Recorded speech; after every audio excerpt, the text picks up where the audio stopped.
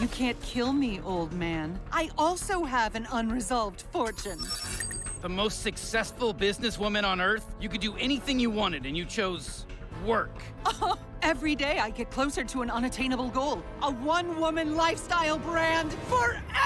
Well, I just used a dark web account to hack Goldman Sachs, remove trillions of dollars, and purchase everything your company offers. Congratulations! You're officially the most successful businesswoman on Earth. Fortune fulfilled. And now I'm emptying your bank accounts and giving the money back to Goldman Sachs, because I sit dead center on the alignment chart. You son of a bitch! How does it feel to achieve your dreams? Empty, right?